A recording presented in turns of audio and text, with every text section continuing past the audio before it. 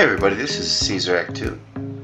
I'm about ready to do a new build on 19.1. Got a nice city out in the distance. Farm, kind of picked it clean of everything it had in the area. A couple factories. Interesting mountain with a double biome. And then uh, I got three biomes all coming together here. Good for getting resources. And there's an additional city out in the distance I can see also. So I think this is a pretty good location on the map. I've already found my trader. Trader Hugh's right over there on the other side of those cluster of woods. And I think uh, fresh water in front of me. I think this is a location that we're going to work on. So let me see here.